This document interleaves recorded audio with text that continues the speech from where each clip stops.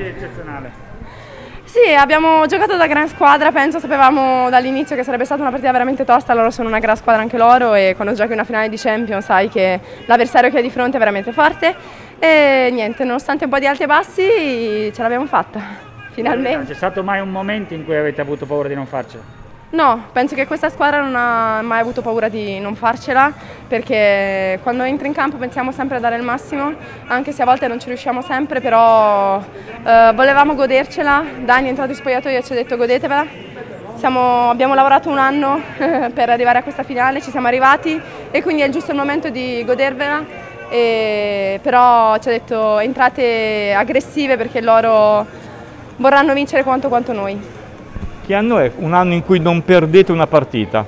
Non lo so, tutti ce lo chiedono, ma in realtà noi entriamo in campo e non ci pensiamo, noi entriamo in campo, ci vogliamo divertire, giocare, vincere e forse questo penso sia ecco, la nostra fortuna, non lo so, non, non ci pensiamo, e, però mh, mm, se ci riflettiamo penso che abbiamo fatto una stagione straordinaria. Che motivazioni ripartirete dopo una stagione così perfetta? Far meglio di così, no?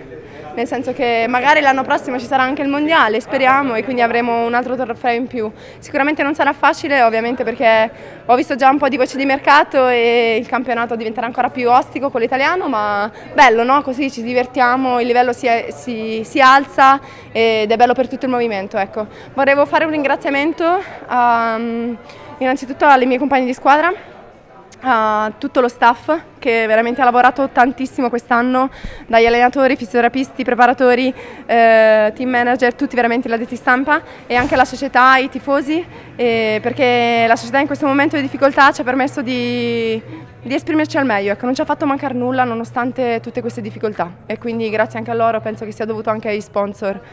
E niente, volevo farlo e volevo dedicare questa vittoria alla mia famiglia che è stato un anno difficile per tutti, e, um, a Paolone, che penso che dopo questi quattro trofei sarà su lì e starà urlando con noi, e tutti i tifosi che anche oggi, nonostante non potessero entrare, li abbiamo trovati qui fuori ad accoglierci e ho detto anche alla, sicuramente anche gli sponsor, alla società. Ecco. Festa per chi via adesso? Eh, perdiamo una gran giocatrice, eh, ma soprattutto una persona straordinaria. Ok.